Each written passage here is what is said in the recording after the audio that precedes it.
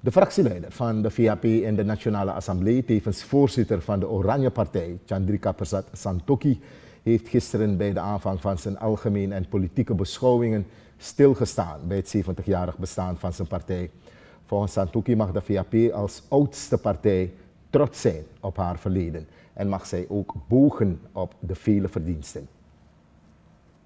Voorzitter, het is ook de VHP geweest die door haar verbroederingspolitiek stabiliteit heeft gebracht, rust heeft gebracht, verzoening heeft gebracht en gezorgd heeft voor sociaal, maatschappelijk rust in een multi-etnische en een multiculturele samenleving, voorzitter.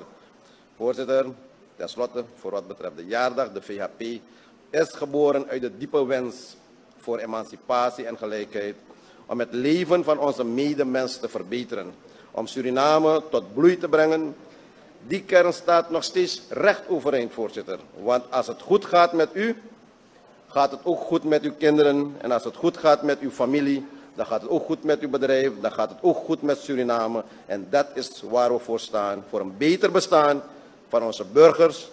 Voor de toekomst. Voor een bloeiend Suriname, voorzitter. De VHP-fractieleider begon daarna met zijn algemene politieke beschouwingen APB, waarbij hij enkele concrete vragen aan de regering stelde.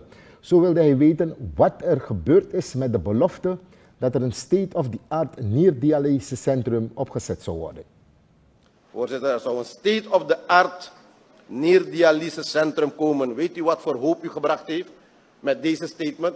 Naar toenemende aantal dialysepatiënten. En kijkt u wat u met de hoop doet regering. Is maar een paar. Voorzitter, wat is er terechtgekomen, regering? Concreet komt u dat vertellen aan het parlement. En ik kan u nu al zeggen dat u gaat zeggen, heel weinig, droevig weinig. We horen hoe dat komt. En voorzitter, dit is slechts incidenteel. Dit is slechts niet incidenteel voor 2018, maar we zien afgelopen jaren systematisch voornemens uitgesproken worden die niet gerealiseerd worden.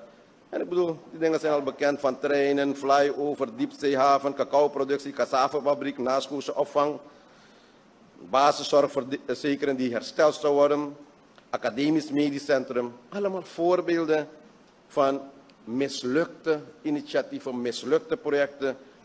We horen regeren wat de oorzaak is. Heeft het te maken met tekortschietende institutionele capaciteit, gebrek om plannen, uit, plannen te maken om uit te voeren, of was het pure misleiding van het volk van Suriname? Alus Chandrika uh, Prasad Santoki, hij gaf verder aan dat er ook flink wat geld is uitgegeven om deze voornemens uit te voeren, waar er toch niets van is terechtgekomen. Dit leidde tot zijn volgende vraag, wat er met de gelden zijn gebeurd die via een IDB-lening bestemd waren voor de agrarische sector in Nikeri. Hij waarschuwde de regering om niet met een mooi verhaaltje te komen, maar de documenten te presenteren over de besteding van de gelden. Al dus de fractieleider van de VHP, Chandrika Persat Santokhi, gisteren in de Nationale Assemblée bij de algemene politieke beschouwingen als voorloper op de begrotingsbehandeling 2019.